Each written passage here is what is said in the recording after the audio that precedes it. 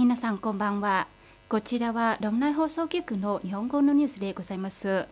準単文国会議事は国会常務委員会による2023年から2025年までの21層中央直轄市での行政単位の配置に関する決議に署名しました。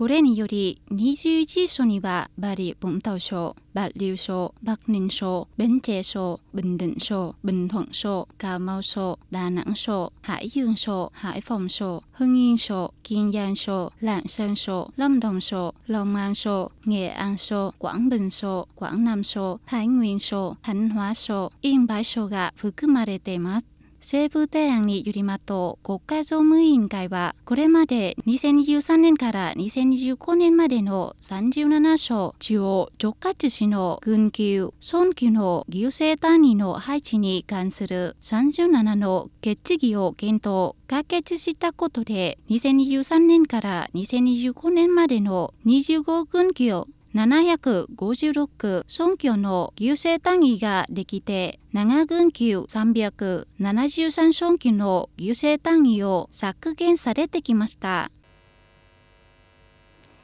11月2日国家経済委員会の nguyễn minh sở 副議長が率いる国家経済委員会の代表団は論内省の交通プロジェクトを視察しました。代表団は省を通過する南北高速鉄道駅の建設地域について関連部門と会談し、ロンタン国際空港プロジェクトの投資政策を調整しました。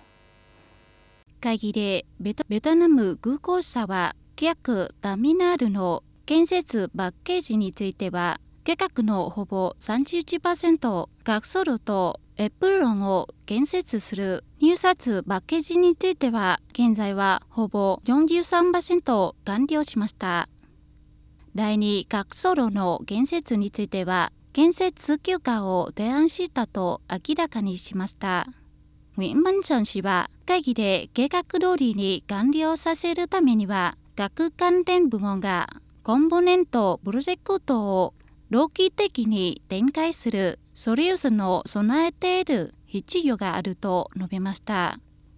第2ガスソロン建設の提案について同社は検討し計画通り2026年9月2日にプロジェクト全体が完了させるように取り組んでいるほか6個の投資段階計画や応用技術、リソースなどに配慮することも必要だという見方を示しました。đồng nai công nghiệp 団地管理委員会の評価によりますと、最近の đồng nai 工業団地への FDI プロジェクト誘致状況は順調に進んでおり、資金は迅速に支出されることにより、プロジェクトの執行のスピードアップと企業と地域の利益に将来に貢献しているということで。年初から2024年10月20日までに論内省への外国直接投資額は同期に比べて17.8%所の約12億3000万ベロルとなり、このうち新規投資は79件の7億900万ドルで、同期に比べて2.3倍となり、追加投資は103件の5億2100万ドルで、2023年の同期に比べて29.2%を下回りました。2024年の計画によりますと、ローソは2024年5月中旬から工業団地への外国直接投資を誘致するという目標を達成し、2024年計画のほぼ167%に達しました。FDI が投資へ進出している中で FDI 誘致額は突破すると予想されています。管理委員会はこの数年、労組への FDI 誘致額が労組の計画を将来に上回っていると明らかにしました。イランの最高指導者ハメネ氏は11月2日、先月末に同盟国と自国を攻撃した米国とイスラエルに対して報復を宣言しました。